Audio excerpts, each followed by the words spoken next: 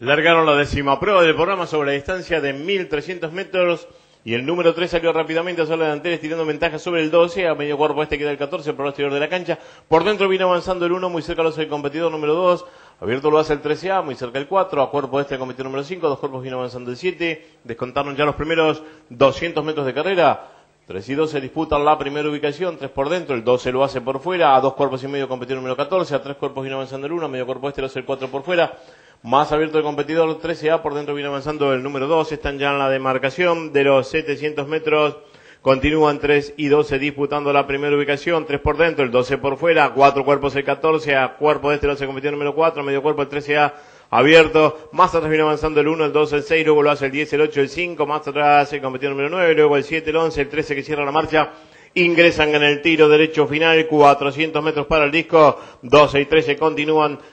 liderando las acciones con cuatro cuerpos de ventaja sobre el 4, medio cuerpo este lo hace el 9A por fuera, por dentro viene avanzando el 1, muy cerca el 6, más atrás el 14, luego lo hace el competidor número 9, el 2, el 10, el 5, el 8, 200 metros para el disco, el 12 por fuera, ahora estira dos cuerpos de ventaja sobre el 3, a tres cuerpos queda el 9A por el exterior de la cancha, muy cerca el 12, el 4, el 6, 50 metros para el disco y el 12 se mantiene en la delantera con la ventaja sobre el 3, entra muy fuerte el 9A por el exterior de la pista, 12 con la ventaja sobre el 13A, el 13 cruzaron el disco.